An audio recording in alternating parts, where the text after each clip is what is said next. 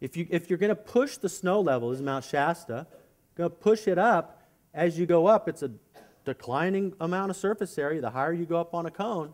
And ultimately, winter's getting shorter. Precipitation may change a bit here and there. It doesn't look like a lot. It's just that more of it will come as a liquid and less will be a solid. And if you're dependent on one of the great designs, every western city in America is dependent on a big, tall freezer next to it. Think about it. Tell me about Salt Lake. Tell me about Portland. Tell me about Seattle. Tell me about Boise, right? Denver.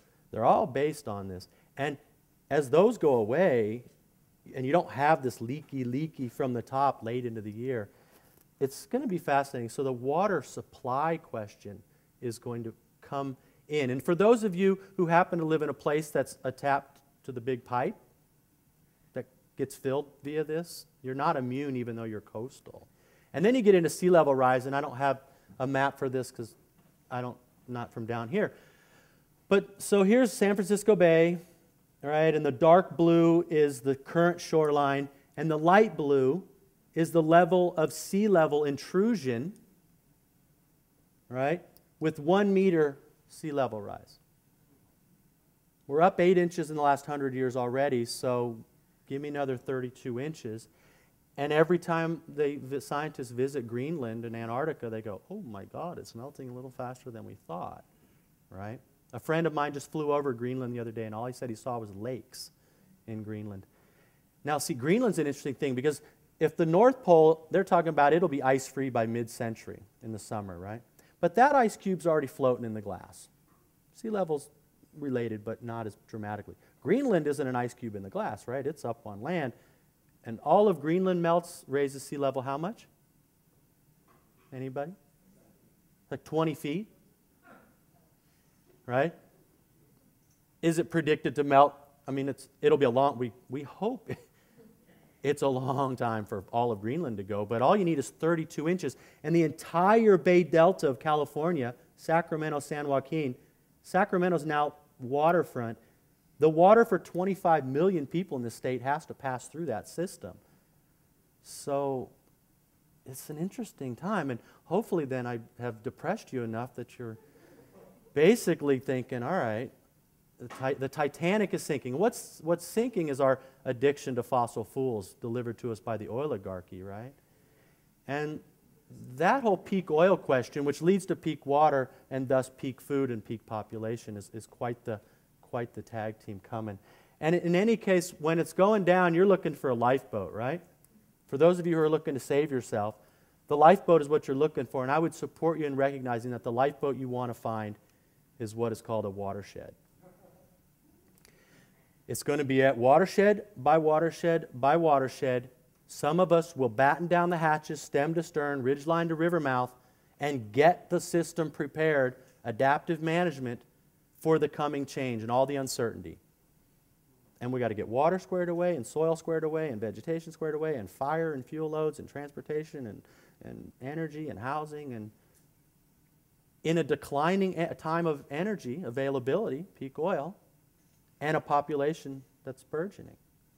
So it's watershed by watershed. And my main interest in coming down here and speaking about this stuff about you guys is to try to figure out how to support you and figuring out where your little watersheds are. And I, have seen a beautiful map, I think it's at Arroyo Burro, that shows all the like 40 different little coastal watersheds along Santa Barbara coast, but I couldn't find it on the web. So you got to figure out, you got all these little mini steep sided guys that pop along here and got a bunch of little bitty watersheds. And, and I'm just interested in that all of you guys get your own lifeboat squared away so you don't come crawling in my lifeboat up in Sonoma County, right?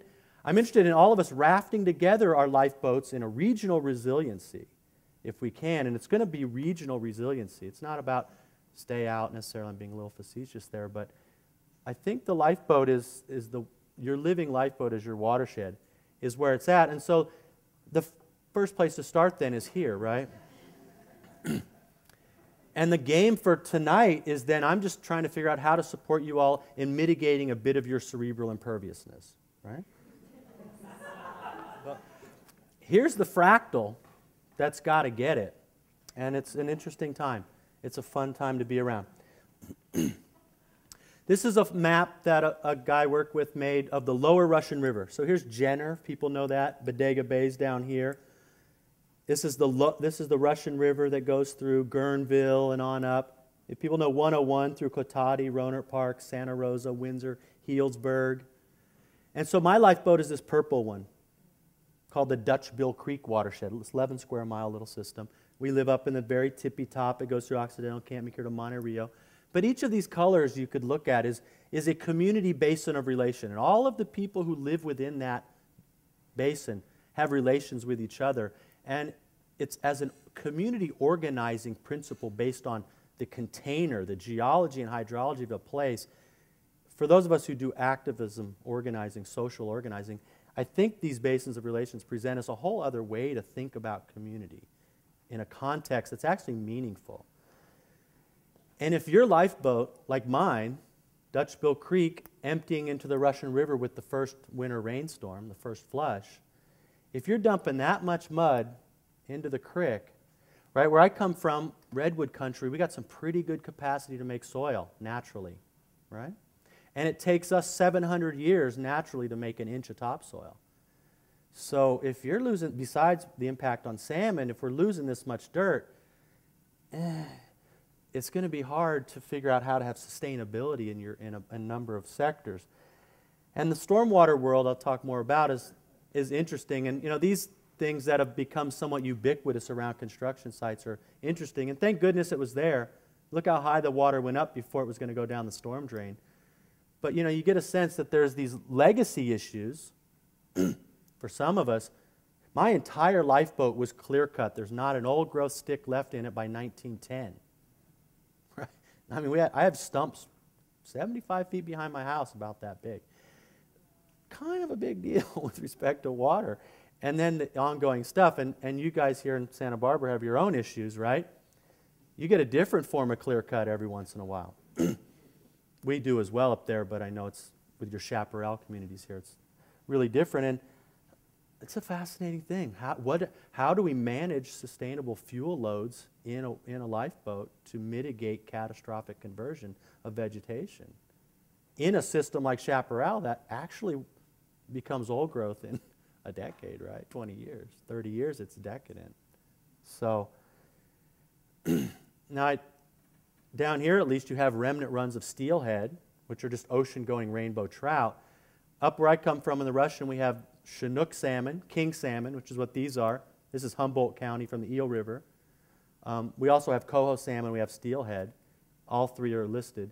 And interesting photo. It's like the classic phrase where I come from is that the fish were so thick you could walk on their backs. Or I guess you could walk on their sides when you hucked them out of the river and loaded them up.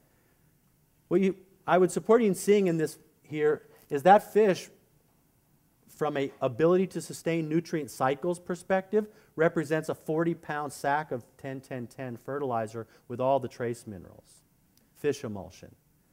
Spawn till you die, as far as you can go in the headwaters, and after you die, bears and eagles and otters and coons and skunks and possums and native people and insects, everybody's partying, everybody's eating fish, and everybody's walking up there and right? You are what you don't shit. Think about it.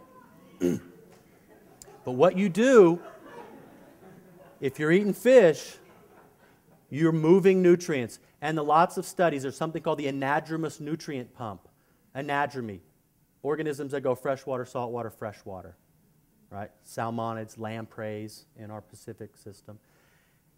Scientists looked in these Oregon streams, sampling the needles in fir trees along the river, looking at the nitrogen in the fir tree in a, in a healthy salmon based system. 60% of the nitrogen is of marine origin. Look at a juvenile steelhead in the stream. 60% of the nitrogen is of marine origin, isotopically. Take a grizzly bear bone that you take out of a museum that was shot in 1872 from Yellowstone when it was made a park, right? Yeah, where's Yellowstone? Oh, it's across the Columbia, the state of Washington, across the Snake, across Idaho, and hooking up into Wyoming, 1,500 miles. 50% of the calcium from that grizzly bear bone, when sampled isotopically, was of marine origin. These salmonids are the primary bearers, bearers or eaglers or otterers. You ought to get this one right. That they're bringing back the nutrients.